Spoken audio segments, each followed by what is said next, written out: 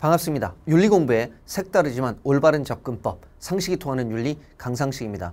여러분, 6월 모의고사 끝났어요. 어떤 학생들은 엄청나게 긴장하면서 모의고사를 봤을 수도 있고 어떤 학생은 그래, 윤리 공부는 내가 많이 했으니까 충분히 다 맞을 수 있을 거야 하고 자신감을 가지고 공부를 했을 수도 있습니다. 이제 결과는 나왔어요, 여러분. 결과가 나왔으니까 여러분들이 뭘 해야 되냐면 아, 6월 모의평가에서 내가 부족한 부분은 뭐지?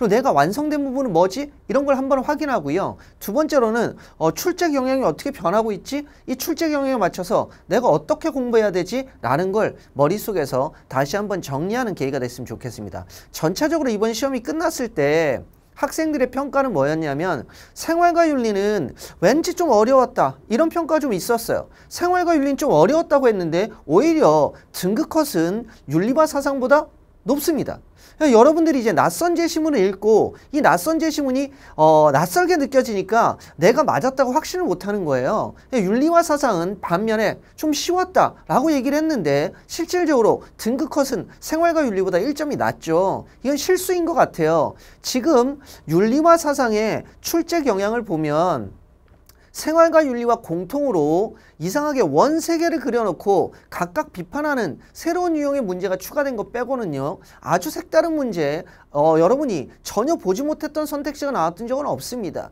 그러니까 기본적으로 본다면 스피노자 같은 경우에 자유의지를 인정하느냐 인정하지 않느냐 이런 거 나오죠. 그 다음에 항상 나오는 게 어떤 사상가든 인간의 본성은 변화의 대상이 아니잖아요. 여기서 착각을 유도하는 거. 요 정도의 기본적인 함정들이 나왔습니다. 특히 여러분들이 이 6월 모의평가에서 주목해야 될 부분은 제발 좀 핵심에 집중하라. 이거예요.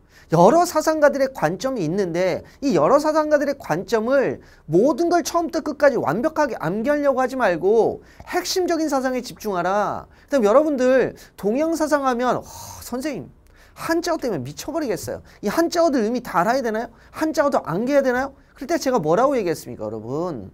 자, 핵심적인 쟁점 사안에 해당되는 한자어만 잘 암기하면 된다. 그리고 여러분들이 윤리와 사상은 특히나 두 명의 사상가 또는 세 명의 사상가를 대립시켜서 문제를 출제하기 때문에 핵심적인 대립구들을 정확하게 파악하는 능력을 길르라고 얘기했는데 실제로 대부분의 문제들이 대립구도에서 출제됐어요 여러분. 그러니까 여러분들 제발 좀 많은 양을 공부하려고 하기보다 핵심적으로 문제를 푸는 데 필요한 핵심적인 지식을 기반으로 공부를 하고 그 다음에 나머지 부분들은 제시문 독해력, 선택지 독해력으로 문제를 푸는 연습을 하기 바랍니다. 자 문제 한번 볼게요 1번 문제 서양 사상가가 나왔어요. 그림의 강연자가 강조하는 삶의 태도로 가장 적절한 겁니다. 인간은 유일한 실체인 신의 유한한 양태입니다.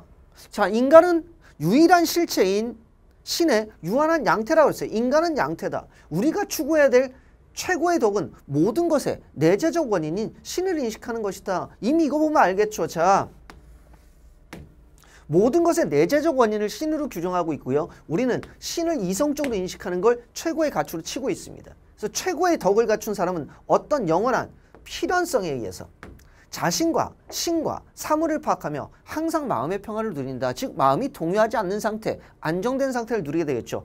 여기에 이르는 길은 험난하고 드물다. 여러분 여러분들이 이 세상의 진리를 알고 돌을 닦는 길이 쉽겠어요? 쉽지 않겠죠. 험난하겠죠. 드물겠죠. 그런데 모든 고귀한 것은 드물 뿐만 아니라 어려운 법이다. 그러니까 니네가 여기에 도달하기만 한다면 너희는 고귀한 걸 얻게 되는 거다. 라고 얘기했어요. 그럼 여기서 보면 실제로 인간은 유일한 실체인 신의 무한한 양태라는 단어에서 아 자연, 생산하는 자연이 유일한 신이고 그 유일한 실체고 인간은 그것에 양태에 불과하다는 누구의 입장입니까? 스피노자의 입장이잖아요. 그렇죠? 자 그럼 스피노자의 관점에서 적절한 삶의 태도 보겠습니다. 모든 것의 내재적 원인인 신을 이성을 통해 인식하려고 힘쓴다. 정답 딱 나왔네요. 여러분 이거 스피노자인지 몰라도 풀 수 있는 문제잖아요. 사실. 그렇죠. 잘 보세요. 모든 것의 내재적 원인인 신을 이성을 통해서 인식하자. 볼까요? 여기 보세요. 모든 것의 내재적 원인이 신이다. 그리고 이 신을 뭐 해야 된다? 인식해야 된다. 그럼 우리가 신을 인식하는 방법 뭐겠어요? 이성이겠죠, 여러분. 그러니까 사실 이건 제시문 독해로 풀 수 있는 거예요. 여러분들이 사상과 암기 엄청나게 신경을 많이 쓰지만 기본적인 요소들은 제시문에 있습니다. 아시겠습니까? 정답 1번이에요. 2번 모든 감정과 욕망을 버리고 초월자인 신의 명령에 복종한다. 첫 번째 모든 감정과 욕망을 버리는 게 대상이 아닙니다.